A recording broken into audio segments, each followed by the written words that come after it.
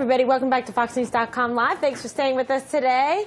As promised, we have some fine gentlemen. Used to play in the NFL. You know, I'm a big football fan, so this is really a, a treat to have them here with us today. And of course, we have beautiful, lovely, talented Jennifer Smith with us as you. well. Now, you are the director of player programs for PAST. Tell us about Yes. the organization and what that stands for. Well, PAST is an organization that provides comprehensive medical and behavioral health services to retired athletes. The program started out providing services to retired NFL players is the need is, is great because of the lack of insurance and the lack of disability claims that are approved. So there's a lot of walking wounded.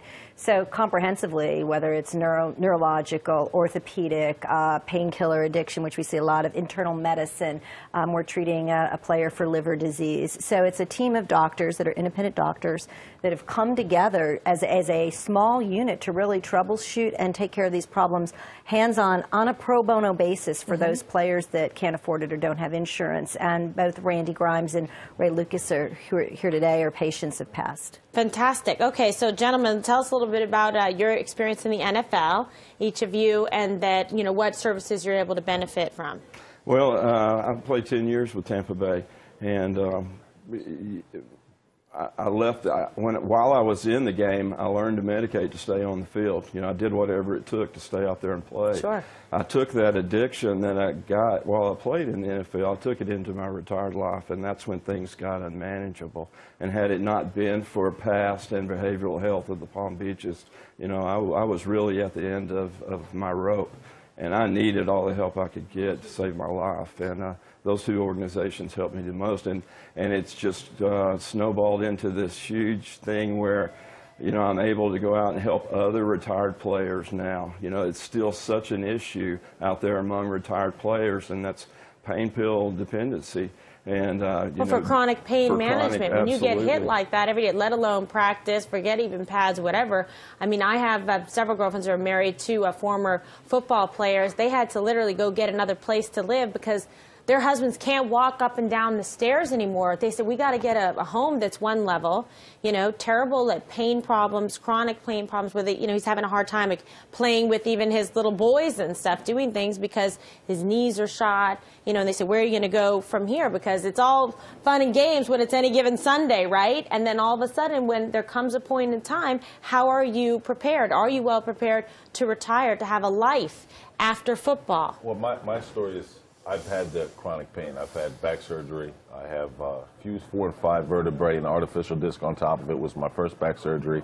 And then about two months ago, I had a three inch steel plate and six screws put in my neck. Oh, my gosh. But at the same token, like you said, like Randy, I was a guy who knew that my job was on the line every day. If I wasn't out there, you're out of sight, out of mind. So when the doc told me the first time, listen, there's two ways you can handle your back. You can play with it, or you could, you know, get fusion and you're done. But I have to tell you, you could be paralyzed. And I said right to his face, I don't really care. I'm gonna, I want to play. Right. So upstairs in the office where You the get the suit and photos ties up right are, here of you. with Dr. Latuga there, with the suit and ties are, everybody's, it's a business. But when the guys that are on the actual field, it's life. And well, with Yeah, Randy's it's your job, case it's too, your life, it's supporting Yeah. your family, it's not letting down your teammates. You want to sit there and be the guy that's like whining, complaining about it for very good reason, by the way, for serious injuries that you know would cripple anybody else. Trust me. Um, are you going to go in and play and suit up? It's tremendous pressure to do that. And, and, and I, I don't know about Randy, but when you're standing next to the guy that depends on you to be in the huddle, Oh yeah. I mean, as a former quarterback, I'm, I'm sure it's the same way. Like, you guys depend on you. I, I got 10 guys when I'm in the huddle that are looking to me to make sure I'm making the right decision. Yeah. Can't let them down. It's tremendous responsibility, you know, and, you become very you know, close when to you your come family. from an era where there's no guaranteed contracts, no guaranteed No, money, you know, your job's only as good as your last performance, Mm-hmm. then you do you do whatever it takes to stay on the field. And when uh, teams are leaving drug safes open and they expect it on the down low for you to do whatever it takes to get on the field, Yeah. then you do it. And um, you know, I learned from the best, the older guys that were there. Th- this is how it, that was. This is how un- business is done. That's how you do it. Right. And uh, and you know what you don't ever think about those. What's going to happen when it's all over? Here's After a ten-year career, what are you going to do Here's with the- this addiction? The funny Right. part, I actually would get, you know, the doctors there give you, take two of these, three of these, two of those at nighttime. So after I left the NFL, I went to go see a back doctor, and I said, I need a script for Vicodin. So I get the script, and I get all the way down to my car, and I looked at it, it's for 30 pills. So I got out of the car, I walked back upstairs. I said, You're like, "What's "What the up hell you with want me to do with this? I'll be done by take this- Wednesday. Yeah, three days. Really? I'll be done in the morning. What do, you, what do you mean? You'll be done in three days. I said, I'm 10, 11 a day, just so I can get by. I said, so you need to, and he's like, those doctors Wow. aren't comfortable in prescribing. you Well, when. Ray came in, it's I had worked with Randy first, and Randy came into Past, and he was taking about 600 pills a month, plus 16 And that's milligram- expensive. you Plus, need to try and yep. get that. Well, yeah, Yeah. And, Insurance. and that's had a lot to do with the unmanageability that my life had become. And he needed a knee replacement, and he couldn't get it. His knee was out sideways. He waited how many years for a knee replacement? Uh, 15 plus. 15 years. So, you know, unless you can treat the chronic pain and the painkiller addiction and behavioral health piece simultaneously, you're going to fail every time because you had a couple of failed attempts at rehab as well. But the- And how about if you have surgery then? Yeah. Yes. Uh, you're going to need some pain management after that, but if you're trying to like, you know, get off the pills or reduce the, the usage Well, and, of them. and- That and was did what happened that. to I Randy. went Yep. to behavioral health at Palm Beach. I was so toxic at the time, they couldn't replace my knee. Past couldn't do their job. So I went to behavioral health of the Palm Beaches, and I did the detox. I went, had the knee replaced, and then came back to behavioral health and, and, and finished my treatment program. Since then, you know, I've started working for them and started this uh, sports interventionist slash recovery coach deal for professional athletes. And that's what the message, you know, I just wanted to remove the stigma that, you know what, this happens, it happens to everybody. Yeah. 22 million Americans are hooked on prescription pain. Oh, no joke. And football population's no different. It's okay to say, you know, hey, I've got a problem, I'm addicted to pain medication.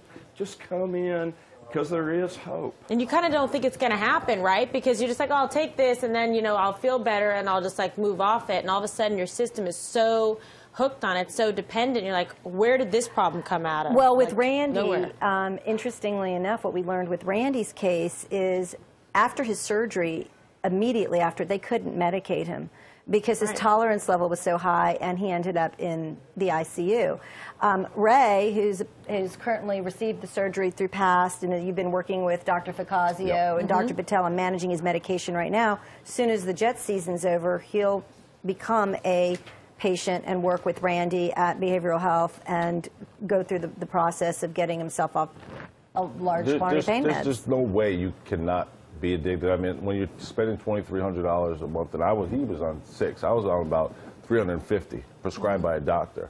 You can't be intelligent or not dumb to know that there's going to be problems afterwards. Right. So in the end, this is why PAST is so fantastic. It's not. It's a one-stop shop. They're not only going to fix your pain, they're going to fix your head. You know, the severe depression that comes with the chronic pain, which I have.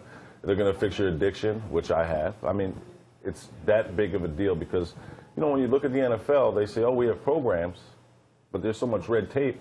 By the time if I would have waited, I probably would have been dead. That's the criticism that I oftentimes hear. My experience, like talking to players and doing interviews, is that you know they can't get the help that they need in a timely fashion. And this is it's really you know kind of an, an emergency situation. Like, look, you had to wait to get your you know knee surgery, to get the knee replacement, and and then try and get the help to get off the pills. But you couldn't do that. You know, get the surgery till you went to the behavioral therapy. It's very difficult. A lot of players feel uh, disenchanted and frustrated that they've been alienated, um, even from like you know NFL, like players union, players association. There's a lot of red tape in all these Which things. I think is they're part to blame as well, just for Yeah. the mere fact that this is a union that's supposed to be for the players.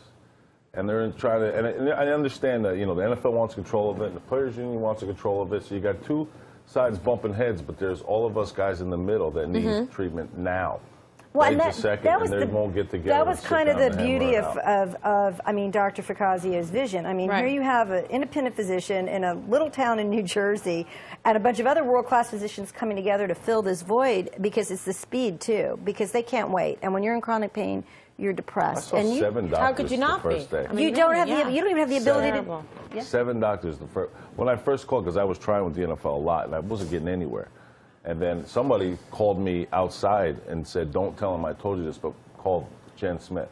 Oh, that's so And nice. we're So talking about an $8 billion industry, and they can't put together a program But that's my like problem this? with Yeah. it. I think it's so frustrating. It's downright disrespectful because they, you know, it's like use and abuse, push you through the system, and then when you're done, it's like, okay, sight, good luck. Yep. Good luck. And, and we're talking about the guys that made the game what it is. What it today. is let's, today. Let's take care of those guys, and they're out there, they're hurting, and that's the kind of guys that we're trying to reach. Yeah, and you're trying, and how about outreach as well to the people who are playing and stuff even right now to say, hey, oh, Awareness. try They're and going to be pay there attention someday.